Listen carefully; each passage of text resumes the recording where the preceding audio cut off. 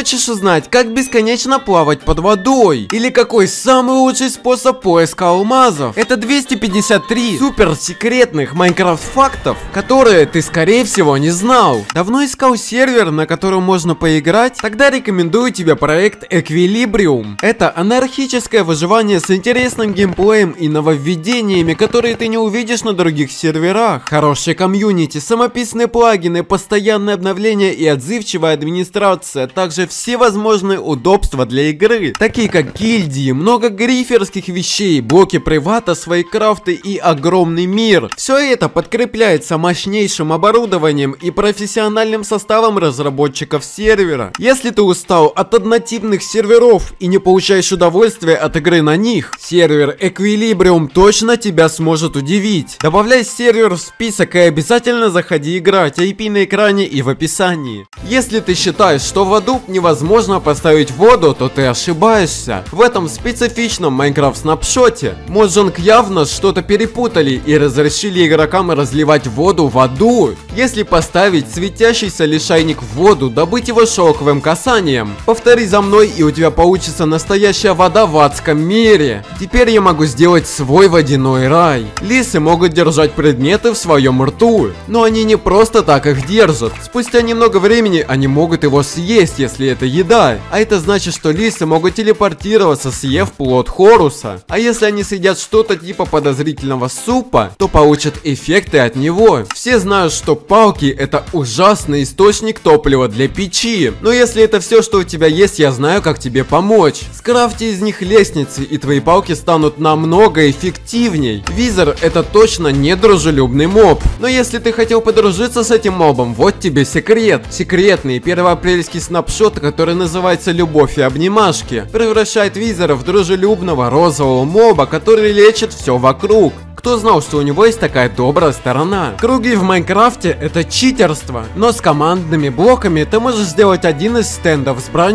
Он будет кружиться, пока ты его не остановишь. Используй команду, чтобы переместить центр стендов. Они станут невидимыми и у тебя получится идеальный круг. Самый быстрый способ возвращения домой это ночной механизм с эндерперлом. Это веселая техника, в которой эндерперл подпрыгивает на пузырьковом лифте. Если соединить его с с датчиком дневного света. Когда наступает ночь, Эндер Перл врезается в активированный люк и телепортирует тебя. Это чудо! Рамка портала имеет шанс 10% заспавниться с глазом. Полностью заполненный портал попадается примерно с шансом 1 на триллион. Знал ли ты про секретные F-команды? Все знают, что при нажатии F3 вылезает информация. Но знал ли ты про F3 плюс B, которая показывает все хитбоксы? Глянь на этого жителя, который есть едет прямиком на курице. Чтобы получить такого секретного жителя, тебе нужно найти маленького жителя, который сидит на курице. Если вылечить этого малыша, он вырастет и станет большим жителем на курице. Большинство шалкеров легко заметить, но если использовать команду Самон, можно выбрать шалкеру другой цвет. Также можно устроить ловушку для своего друга, когда он пойдет забирать предметы. Этот зомби полностью мертвый, потому что в этом 1.9 снапшот снапшоте зомби спавнятся без искусственного интеллекта. Значит, что в голове у них ничего не происходит. Они даже могут просто зависнуть в воздухе. Ездить на любом существе, на котором хочешь. Команда Райд позволяет тебе передвигаться на любом мобе. Например, как эта пчелка, и я могу летать даже без элитры. Думал ли ты когда-то, каково быть шалкером? Повтори за мной с помощью люка, и при открытии шалкера ты провалишься в него и застрянешь прямо в нем. Эти эти злые кролики полностью пропали. Возвращаясь в версию 1.8, есть очень редкий шанс, что злой кролик заспавнится и будет атаковать игрока. Также их можно размножать. В этом очень старом снапшоте тыквы таят в себе очень страшный секрет. Если заспавнить семена тыквы, рост которой превышает 8 единиц, они начнут превращаться в эту странную печку. Это происходит из-за того, что потеряны файлы в игре. В любом официальном обновлении до 1.8 ты можешь использовать огонь для крафта кольчужной брони. Самое странное так это то, что огонь никак нельзя получить в выживании, так что это самый бесполезный крафт. Ты можешь получить невидимую броню в Майнкрафт. Сейчас на мне невидимая броня, и мобы меня слабо пробивают. Чтобы получить эту крутую броню, все что нужно сделать, так это написать такую команду и выдать себе 100 очков брони, что сопоставимо с полным сетом незеритовой брони, но только полностью невидимой. Коричневые грибы, драконьи яйца и рамки портала края издают свет, и также якорь возрождения, свет от которого зависит от того, сколько светящегося камня вы в него положите.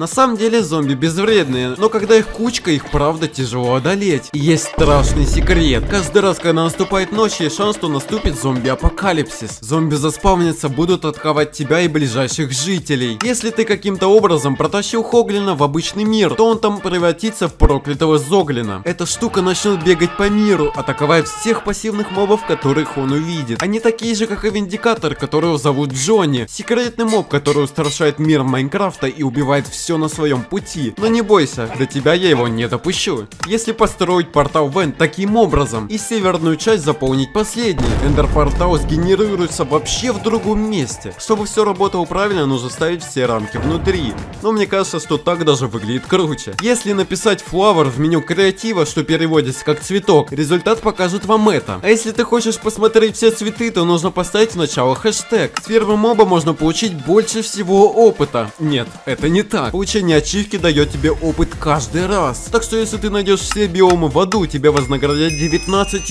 уровнями. Спидераннер использует эту фишку для быстрого фарма опыта. У каждого блока в игре есть своя степень прочности, которая значит то, насколько тяжело сломать или взорвать его. И вместе с этим есть необычный секрет. Если у камня прочность 1.5, а у обсидиана 50, как ты думаешь, сколько у бедрока? Может, э, миллион? Или же бесконечно? На самом деле это минус один. Не знаю, кому в голову голову пришла эта идея, но это действительно так. Знал ли ты, что есть способ получить дополнительные слоты в инвентаре? Включи в настройках сенсорный режим и с помощью кнопок с цифрами переложи предметы в крафт. Выйди с инвентаря и у тебя получились дополнительные 4 слота. И к сожалению, это убрали после обновления 1.19. Но ты все еще можешь это использовать в любом другом обновлении. Взрывной пузырек с водой кажется самый бесполезный предмет, но это один из двух способов, как можно себя потушить в аду. Также можно использовать котел и в нем нем вода не сушится. Это также работает и под водой, в него можно залить лаву, но это уже не столь полезно. Но это не единственный способ совмещения воды и лавы. Во втором методе нужны пузырики и огненные шары. Если поставить песок душ под воду, огненные шары просто будут подскакивать на пузырьках, что полностью ломает всю мою логику. Капельник технически считается сущностью, когда он падает. Это значит, что его можно подцепить удочкой и дернуть его в воздухе. От этого вообще нет пользы, кроме как повеселиться с друзьями. Но это также работает с песком, гравием и, конечно, с динамитом. Обмениваться с пиглинами чересчур выгодно, но это очень медленно. Профи из Bedrock Edition нашли способ увеличить скорость этого процесса в 100 раз.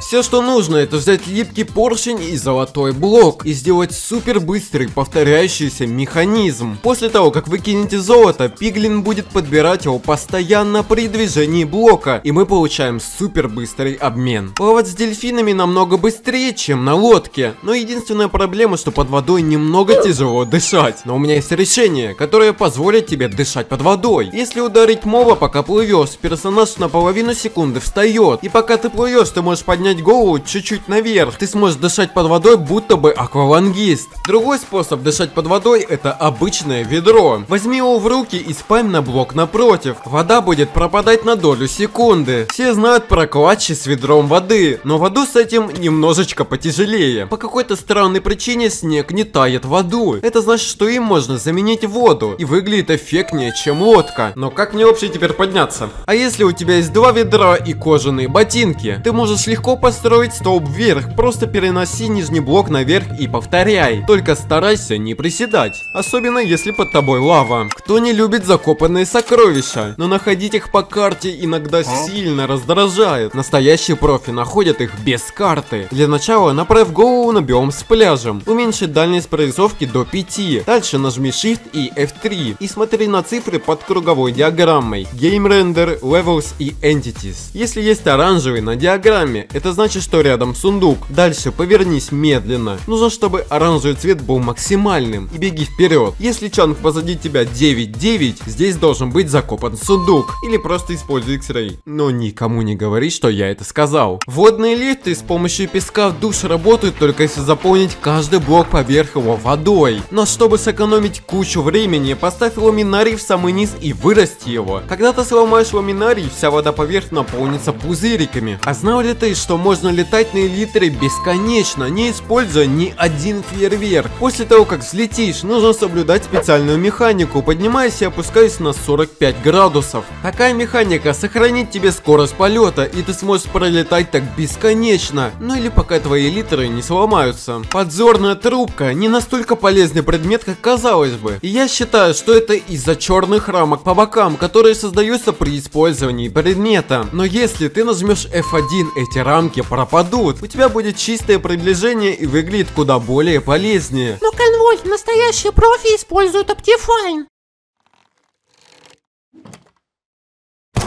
Этот секретный трюк позволит тебе пережить падение без предметов. Есть миллионы способов обойти урон, используя специальные блоки, броню или зелья. Но если у тебя ничего нет, то просто выйди из игры до получения урона. Если ты в одиночном мире, то когда ты зайдешь, урон не засчитается. Ты можешь дублировать порталы Энда. Тебе нужно создать мир в 1.19 Java Edition и после обновить его до 1.20. Если поставить сверху блок Энда, на портале выхода. Когда ты убьешь дракона или поставишь кристаллы, второй портал появится наверху. Возвращаясь в 1.14, ты можешь применять сразу много зачарований защиты на один предмет. Создай ультимативную броню, зачаровав ее на всю защиту и после обнови игру. У тебя останется твоя читерская сильная броня. Этот секрет жителей даст тебе бесконечные эмиральды. Когда ты вылечишь зомби-жителя, любой обмен с ним будет со скидкой скидкой. Если ты вылечишь его много раз, скидка будет увеличиваться. И так можно дойти до странных цен. Как, например, купить три книги за два изумруда и продать три книги за три изумруда. Ты получишь один бесплатный изумруд. Ты можешь быть максимально скрытным, когда бегаешь на полной скорости. Если ты подойдешь к самому краю блока, игра будет думать, что ты бежишь по воздуху. У тебя не будут спавниться частицы и не будет звука бега. Есть секретный способ использовать взрыв прорывное зелье, чтобы оно длилось максимально. Игра рассчитывает, сколько зелья пролетит в воздухе и увеличивает длительность зелья на это время. Не кидай его в землю, бросай зелье в воздух, чтобы получить максимальную длительность. Этот дом в огне, но эти полублоки точно не сгорят, потому что это новый окаменевший дубовый полублок. Он выглядит как дуб, но окаменевший означает, что они как камень. Они не сгорят и добываются киркой. Этот секретный блок самый сложный сложный из всех.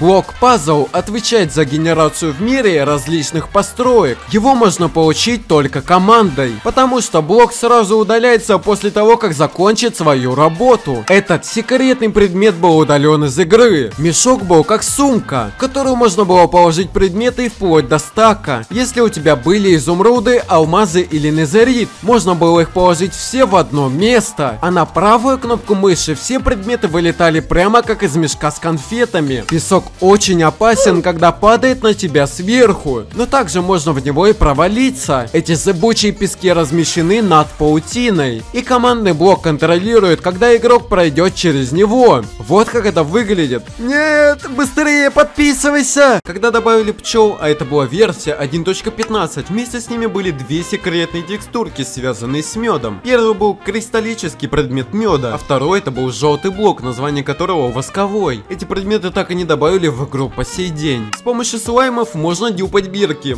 Ну, технически. Если использовать бирку на большого слайма, его имя перейдет автоматически к маленьким. Можно настакать так кучу слаймов с коварным именем и пошутить над своим другом. Удача это возможно самое полезное зачарование в игре. Оно дублирует нам алмазы. Но знал ли ты, что есть способ использовать это зачарование намного полезнее? Если зачаровать мотыгу на удачу или любой предмет на удачу 3, ты будешь собирать намного больше урожая с ферм. Вместо четырех морковок с обычной грядки ты будешь собирать около 5,5 и также больше семян с пшеницы. Если у тебя есть механизм с автоматическими печками, попробуй это. Уголь может переплавить 8 предметов, но блок угля, созданный из 9 угольков, может переплавить 80. Это...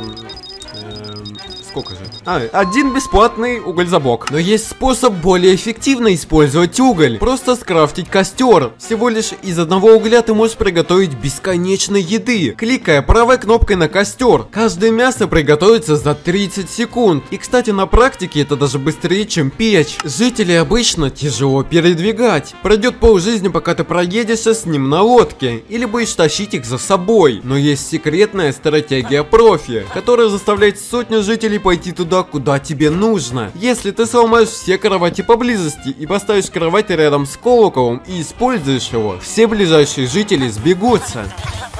Говоря про жителей, лучшие игроки выживания используют с ними одну очень сильную фишку. Если ты найдешь библиотекаря и сломаешь его кафедру, ты можешь бесконечно ставить ее снова, чтобы поменять его обмены. И так можно повторять бесконечно, пока ты не получишь нужное тебе зачарование. А еще можно вылечить его и получить получить огромную скидку. Потерять свою базу в Майнкрафте огромная проблема. Бывает тяжело следить за всем, когда ты находишься в практически бесконечном мире. И координаты иногда очень тяжело запомнить. Так что отличная идея не только скрафтить карту, а еще назвать баннер, поставить его и кликнуть правой кнопкой мыши с карты в руках. И у тебя будет обозначен бесконечный маркер, который будет тебя показывать твой дом. Выглядит даже полезнее, чем магнетитный компас. Один из старых способов, как Отметить место это просто построить высокий столб вверх. И получается мини-маяк. Эта фишка сама по себе очень полезная, но убирать потом это достаточно трудно. Если у тебя нет строительных лесов, то используй гравий или песок. А когда нужно будет убрать столб, просто сломай блок и поставь факел. Этот способ не то что эффективный, но еще и расслабляющий. Чтобы не тратить сотню лет на то, чтобы переделать весь свой цемент в бетон для строительства. Построй стену и пол из цемента, а после залей